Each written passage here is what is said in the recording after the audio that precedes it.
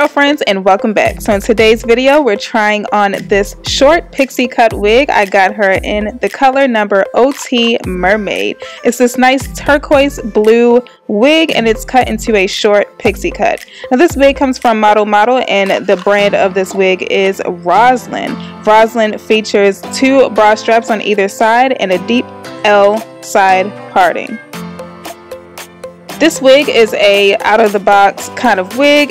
no styling necessary. It's really, really simple and easy to put on. So I just pop this wig straight out of the box, pop it on my head, and I'm just rearranging the waves and the curls exactly where they should be placed. I use the tag in the back of the wig to help me to place this wig exactly where it's supposed to sit on my head.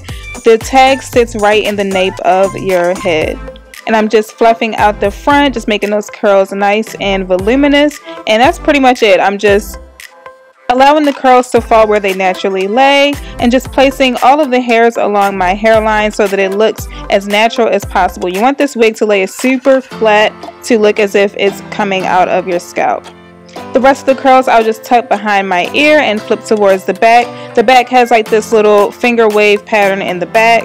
So I'm just following that natural pattern. I grab some concealer of my choice and I'm just lining the parting. The end of this particular cap has a dark complexion so it doesn't blend super seamless with your scalp. So I just use a little bit of concealer to blend that little harsh edge with my natural scalp. I tucked away the rest of the hairs behind my ear and use a bra straps that are in the back to tighten down the wig. I use some Eco Styler for my edges and that's pretty much it. The look is complete so I hope you guys enjoyed this wig. Be sure to stay tuned for my review coming soon. I will get into all the specs and details and all the other colors of this wig it's available in. So let me know what you guys think of this pixie cut. I'd love to know in the comments below. I love you guys and I'll see you guys in the next video.